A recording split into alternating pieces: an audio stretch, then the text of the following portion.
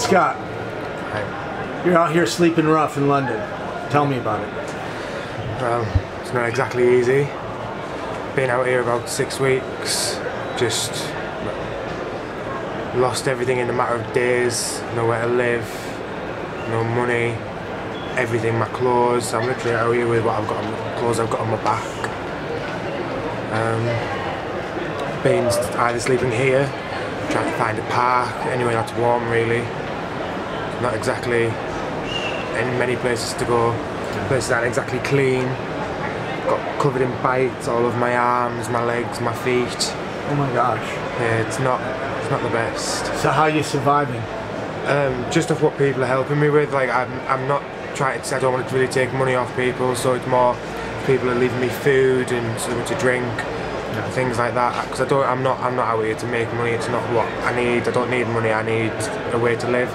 Been looking for a job. I've been trying to find somewhere that help me out with some clothes, enough for a pair of trousers and a shirt to try and find a job. So there's services all around here for rough sleeping. Nobody's helping you?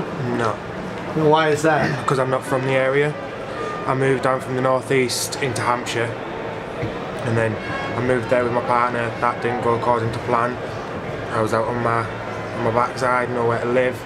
So I came here thinking that there'd be places here that'd be easier to find help. And it's just not nothing at all unless you've got a local connection. If you've been, you have to have been here six out of the last 12 months and things like that. And they just don't refer you to nothing unless you are from London. So what's your future like? I'm I'm not exactly sure at the minute. if I can find a job, then I'd I'd stay in London, or if I can find a job just to get myself back to the northeast, at least where I know people, then that's the easiest way to do it. If you had three wishes, what would they be? A roof, my family, and a decent meal. Well, thank you very much for talking to me. No problem. Thank you.